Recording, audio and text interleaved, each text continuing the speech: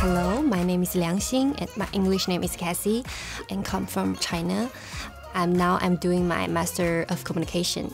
First of all, when I was in my bachelor degree, I studied translation. So I want to improve my English.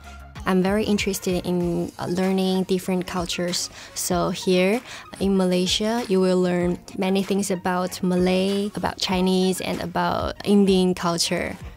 The reason why I choose Taylor's because uh, before I come to Malaysia, I checked the QS ranking.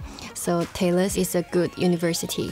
For the distance, I come to Malaysia from China. It only takes me six hours, so it's very near. It's very close.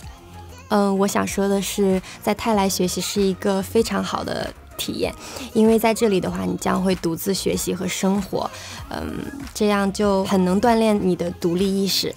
另外的话，泰来有很多国际的学生，所以你将接触到很多嗯不同的思想，还有呃不同的文化，帮助你以更加开放的心态去面对这个世界。